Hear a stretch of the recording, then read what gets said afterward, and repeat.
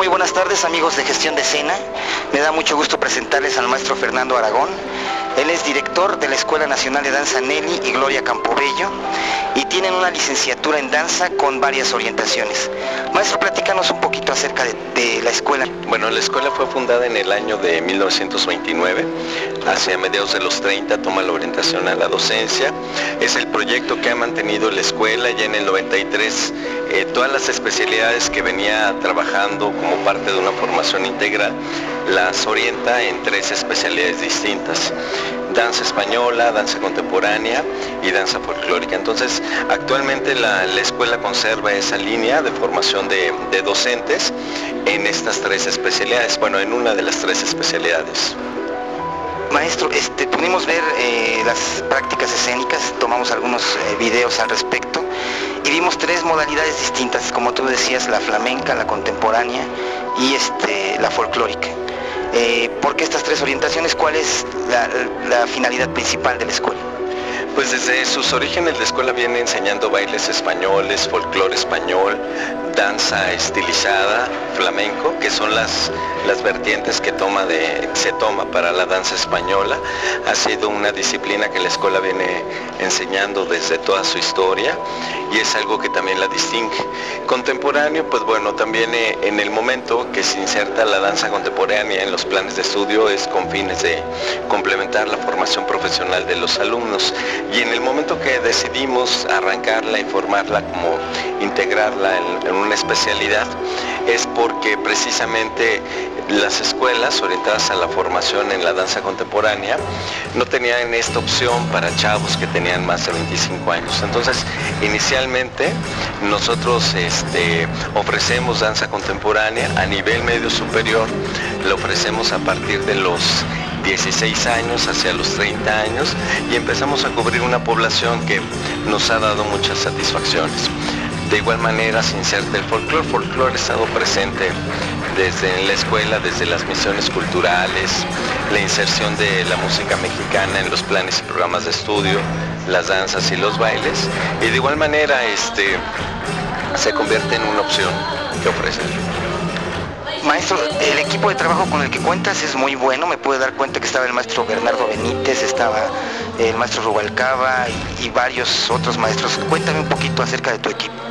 Yo creo que definitivamente toda escuela profesional requiere eh, finalmente maestros con gran experiencia, con gran trayectoria y sobre todo maestros que tengan la experiencia profesional de bailar y de dar clases.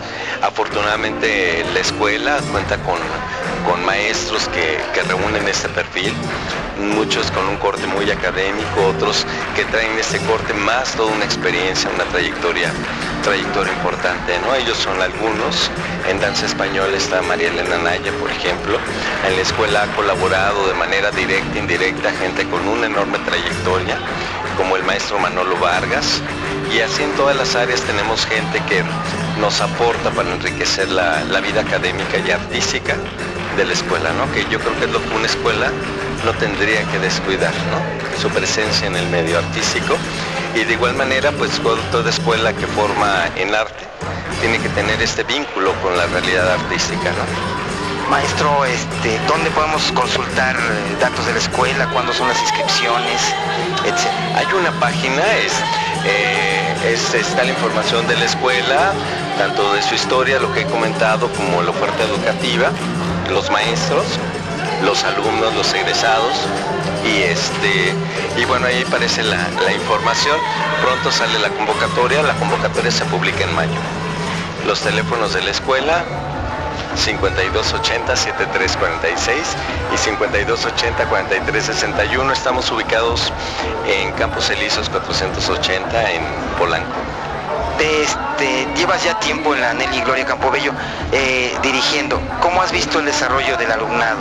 Eh, de las prácticas escénicas de hace un año a las actuales. Como director llevo más o menos un año y medio, pero en la escuela llevo más de 15 años. Eh, interrumpidos en un periodo de cuatro más o menos. Eh, definitivamente nuestro perfil ha cambiado mucho, ¿no? Es una escuela que originalmente contaba con un plan de estudios de nueve años, eh, los egresados eran muy pocos, había cierto perfil de población. Cuando implementamos en el 93 con, con la nueva reforma, este, planes y programas de estudio, recibimos un tipo de población completamente diferente. Cambió muchísimo, recibimos a niños y actualmente la formación en estudios superiores también nos está dando otro perfil, ¿no?